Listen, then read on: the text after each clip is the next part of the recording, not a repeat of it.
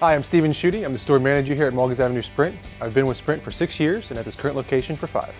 So why should Sprint, or why is Sprint considered small business and, and, up for this award? Yes, we have a larger support network, but locally we are our own entity. Um, this store is a standalone location. We have some partner locations and whatnot throughout Washington County, but when it comes to how Sprint interacts with the community as a whole, we do that as a single entity out of this location.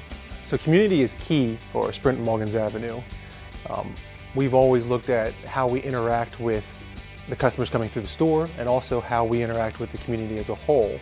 So when you come into my location, you've heard before and you've heard me probably talk about we have a guest process, how the customer is treated from start to finish. A couple years ago, we extended that process out to the market and how the store, our employees, our management team interacts with the market as a whole. So whether it's through volunteer work, through Children in Need, United Ways Dave Caring, um, down to sponsorships, uh, the donut drop. We do see people that come in. Um, it's a friendly face they see when they walk in the door. Uh, they know us from doing those events. It makes it easier for them to come in and talk to us, to um, you know trust us with what we're selling. They're going to know that the product we're selling.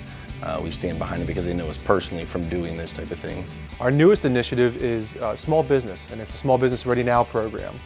Uh, we recognize that the smaller businesses in the area don't have the IT tech support that they wish they had and that I think a lot of um, their employees wish they had. So rather than having to go to your local cell phone provider for tech help, we're rolling out a program where we come to you.